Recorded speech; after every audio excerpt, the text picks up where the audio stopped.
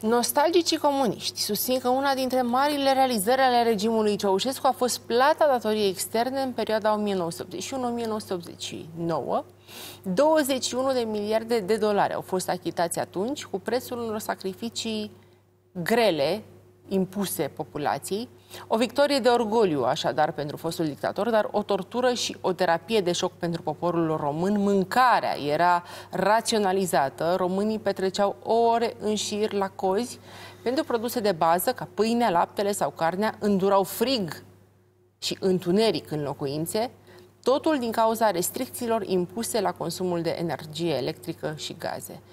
Nicolae Ceaușescu a continuat să strângă și mai tare cureaua. Dumneavoastră ați povestit că până la finele anului 89, pentru a completa din rezerva uh, națională de aur vândută, dictatorul a dispus achiziția altor 21 de tone de aur, așa încât, după plata ultimei părți din datoria externă, Ceaușescu, în loc să relaxeze restricțiile, a continuat să impună populației un regim de viață auster. Urmează întrebarea, a fost plata datoriei externe cea mai mare greșeală a lui Nicolae Ceaușescu? Nu plata, ci plata anticipată a datoriei externe și ritmul în care s-a plătit, că datoria externă trebuia până la urmă achitată. Ori noi am avut 2 ani 81-82 în care România a cerut reeșalonarea plăților scadente din datoria externă pentru că economia ajunsese în situația în care intra în incapacitate de plată. Deci problema n-a fost plata datoriei externe, ci decizia luată de Ceaușescu de a nu mai lua niciodată credite externe, România să nu mai ia niciodată, și de a rambursa anticipat. Și atunci a supus într-adevăr poporul român la privațiuni greu de imaginat pentru sfârșit de secol 20. Mergem mai departe. Mergem cu prima întrebare roșie. Imediat după Revoluție, ați avut o evoluție politică aproape firească. Din ministru adjunct în cadrul Ministerului de Finanțe, ați devenit ministru plin în iunie 1990, iar un an mai târziu, în octombrie 1991, ați fost desemnat premierul României din partea FSN, după ce guvernul Petre Roman II fusese dat jos de la putere din cauza protestelor masive ale minerilor. Preluarea mandatului de premier a avut loc într-un moment fierbinte în istoria post-decembristă a României, valuri de proteste în stradă, inflație crescută, instabilitate economică și financiară. Știu că desemnarea dumneavoastră în funcție de prim-ministru v-a luat prin surprindere, vă citez. Eu eram hotărât să plec la Banca Mondială, dar am ajuns prim-ministru pentru că toți liderii politici au fost de acord. Ați guvernat România din octombrie 1991 până în noiembrie 1992, iar la terminarea mandatului ați făcut următoarea declarație, vă citez, M-am pregătit aproape o viață pentru un an de guvernare. Aș vrea să-mi explicați puțin această declarație dumneavoastră. Urmează întrebarea roșie. Meritați să stați mai mulți ani premierul României?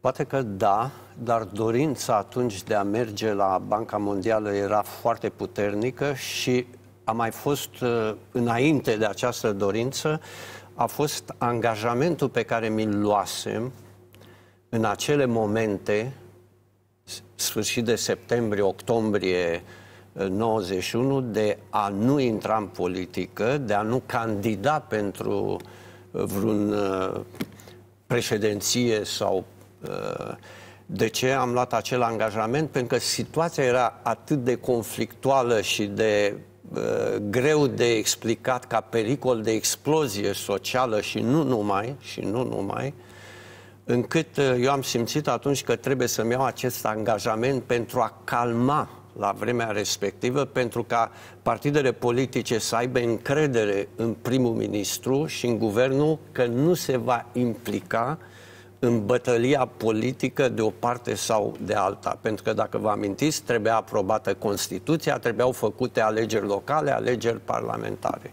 Iar România era, la vremea respectivă, cu credibilitatea zero, dacă nu cu minus, în urma a ceea ce s-a întâmplat cu invazia minerilor și dărâmarea guvernului. Au fost momente Petre foarte grele pentru noi ca stat, decisive de altfel. Da.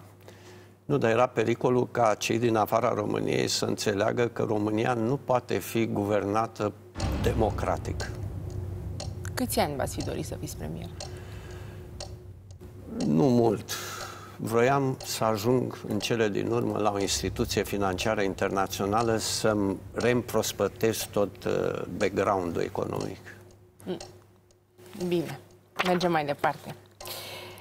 Mandatul de premier. A bifat câteva decizii care au creat multă vâlvă, liberalizarea prețurilor și recapitalizarea băncilor. O să încep cu liberalizarea prețurilor, o decizie importantă, dar puternic contestată în acea perioadă, pentru că a fost luată fără a fi însoțită și de liberalizarea cursului de schimb, o mișcare care a determinat confiscarea valutei întreprinderilor, a societăților comerciale și a populației, care au fost obligați să schimbe valuta deținută în lei la un curs fix mult sub valoarea reală.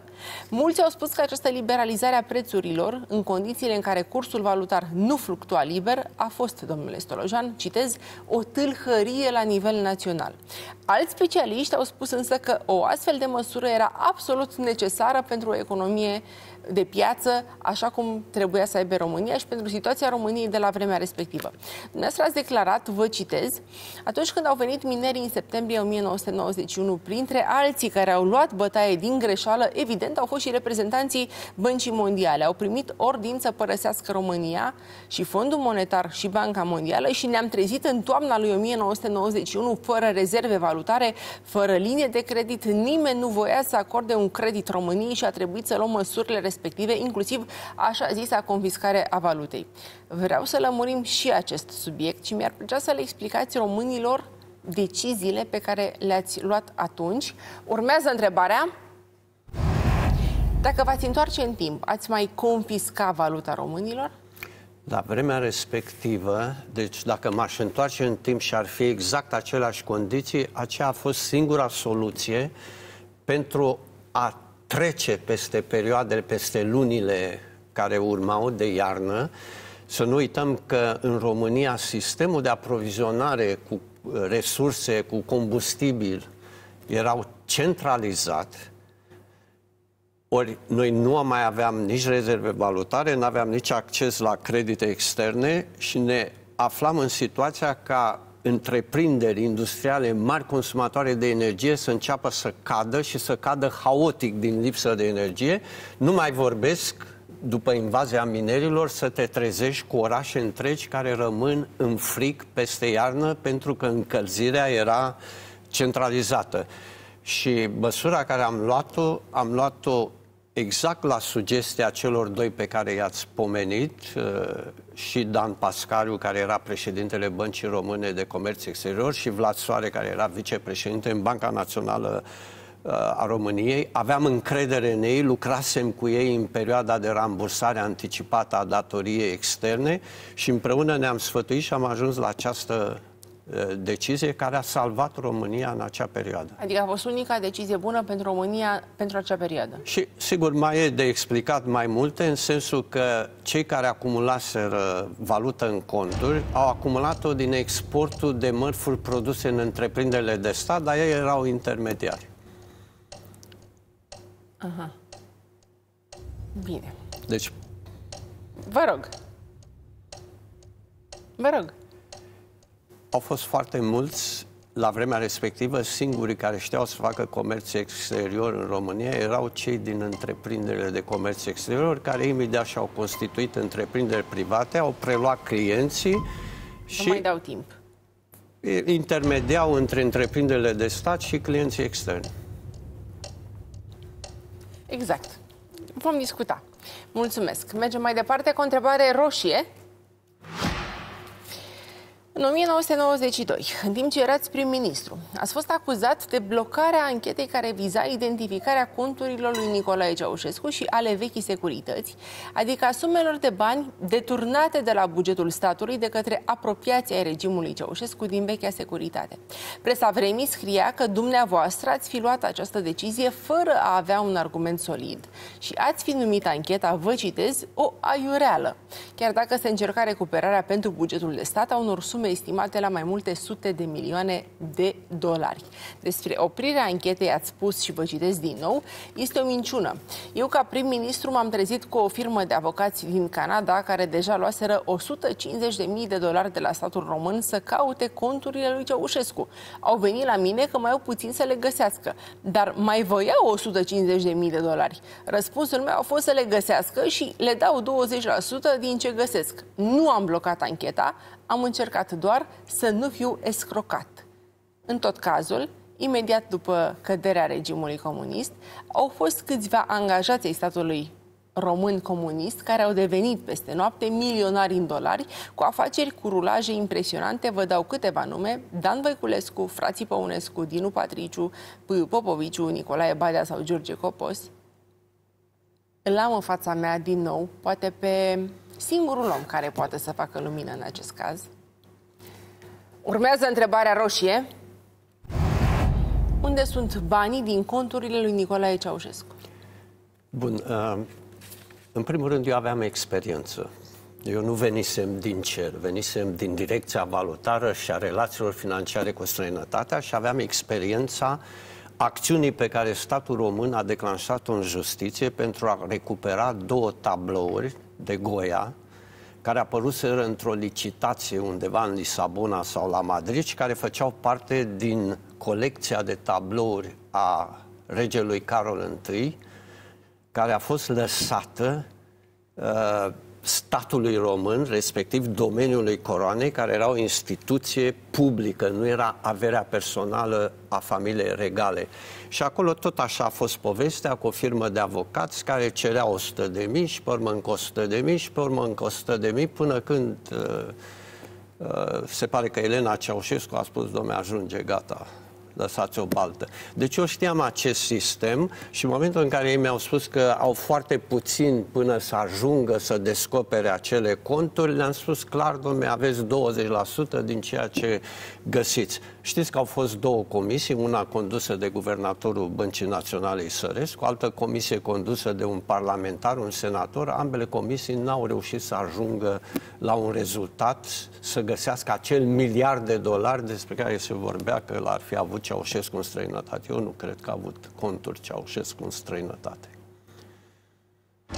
Deci credeți că nu a avut bani deloc? Nu.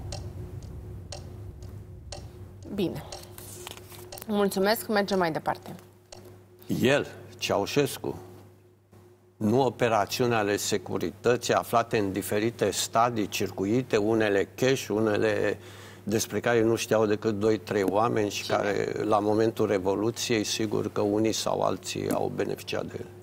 Cine au beneficiat în opinia noastră? Asta nu știu, nu pot să vă spun, pentru că relațiile mele, n-am avut relațiile cu securitatea pe care, despre care vorbește Marius Oprea sau alții. Bine.